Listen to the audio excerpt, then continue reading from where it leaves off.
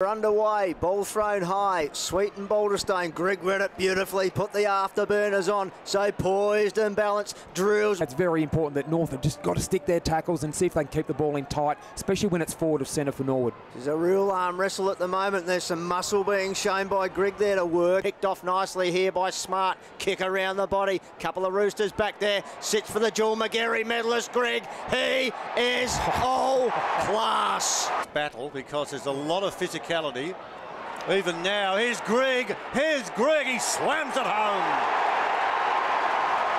Grigg sniffs one out. He's got two. Now, it's intercepted by Talia, squaring ball to Johnston. Lowered the eye, saw Grigg on the lead. Takes a good contested mark.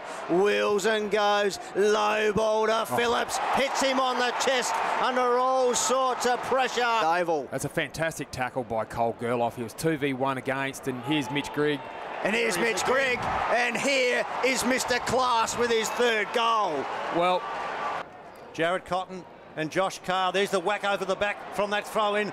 Grigg is very cool. He takes the bounce, slides the hand pass over towards his teammate Nunn. He got it back. Grigg kicks for goal, and Grigg has none whatsoever. He is magnificent. You think he was playing rugby league for the Origin side. Gets it back now to Grigg. Grigg's low dart ball. Finds a target. He could have raffled it, and he's got Jeffries. He had Phillips as well. He's cramped up, Jeffries. Yep. I tell you what, at three-quarter time, Grant, I saw a number of Norwood players in the hands of the trainers getting massages. Grigg, here he goes, go. hands it off to Grigg. He's got plenty of fire in his legs. He's got plenty. He's got five great sponsors of North Adelaide and the Digital Pass. He's had a great quarter, Maris on the cars. Oh. Gives it to Grigg. Uh -oh. oh, talk about great quarters.